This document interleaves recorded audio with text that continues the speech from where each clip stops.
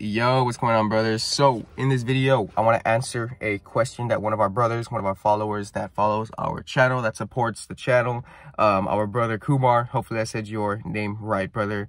Um, I'm sometimes really bad with names, but I want to make this video for you. I want to answer your question on body recomposition. And from what I got, from your question, basically, I think what you're explaining to me is you've hit a fat loss plateau. You've been losing a certain amount of weight and you have stalled at 18, 1900 calories. So whenever you hit that weight loss plateau, um, it's very, very simple, very, very simple thing you have to do. Um, my friend, it's super, super simple. Uh, so basically what you want to do is uh, whenever you hit a fat loss plateau, also you were talking about um, body recomposition and stuff like that, right? So this is also really going to help you um, keep on uh, uh, furthering and being consistent along your process um, along your body recomposition journey. Um, so what you want to do is you want to hit like your maintenance calories, right? So boom, what had happened is you've been eating 18, 1900 calories, however much calories you've been eating, and uh, you've been losing consistent amount of weight, and then it stops.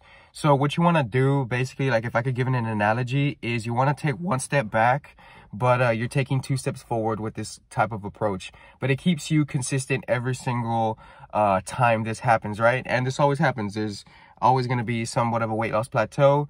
And um, along your journey, you're going to want to have to offset that by getting into a weight loss, into a weight loss, into calorie, uh, calorie maintenance, right? So like you had said, you're eating 18, 1900 calories, move them up to like around 23, 2500 calories and eat that for like around a week to two weeks.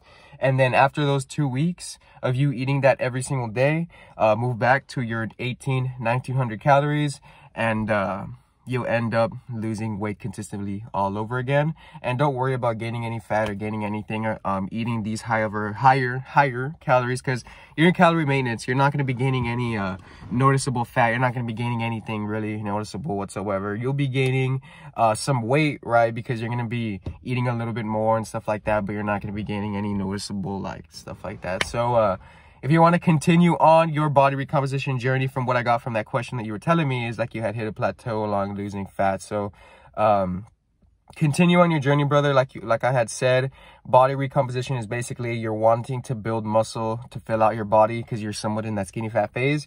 So after you do the 23, 2400 calories, go back into the 18, 1900, keep on losing that weight. And then after that, um, I, I mean, I don't know what's going on, right? But, uh,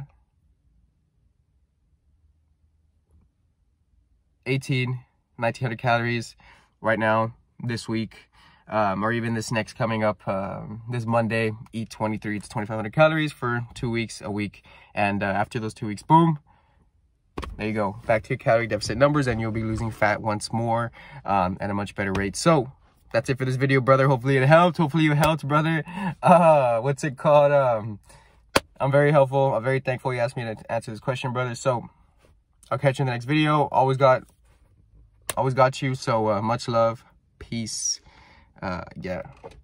Catch you later. Peace, man. Much love.